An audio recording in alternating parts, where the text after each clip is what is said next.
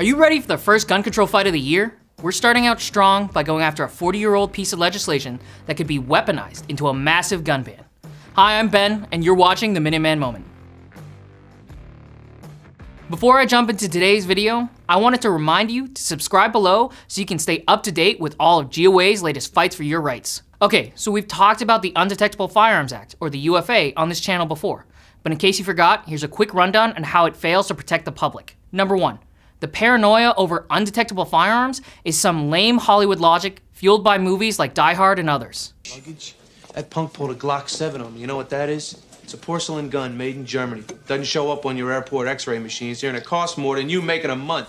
You'd be surprised what I make in a month. And number two, even if a person brought an undetectable firearm somewhere, we would only know about it after they managed to do something with it. The UFA would only be a reactive punishment, which at that point, there are a lot more serious charges than getting caught with a gun. In fact, we found these two studies that show that there were zero prosecutions under the UFA between 2000 and 2023. This is despite the fact that 100% 3D printed guns were already prolific. The current UFA, or the temporary reauthorization, includes a sunset provision.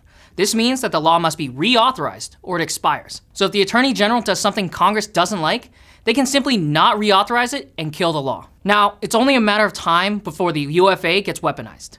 Take, for example, how the Gun Controls Act definition of mental defective in 1968 was weaponized by the Clinton administration some 30 years later when the VA turned over 250,000 veterans into prohibited persons. This was only made possible because the VA took an old definition, which no one at the time had thought would be used to deny people who can't balance their checkbooks their 2A rights. Combine this principle with the old 80s language of how major components, like a frame or receiver, need to be visible under X-ray, then the issue comes with Biden's ATF frame receiver rule that wanted to redefine those terms to include most parts of a firearm. This could have led to multiple different frames and receivers on a firearm like a Glock, and if one of those pieces, like the magazine release or the trigger or whatever else was not identifiable under X-ray, then the entire gun would have been banned. Because of the high potential for abuse of this law, a permanent reauthorization of the UFA could have disastrous consequences. Thankfully, Representative Massie and Ogles are leading the fight with a letter to the Speaker, encouraging them to hold the line and reject a permanent reauthorization or expansion of the UFA. This is where we need your help.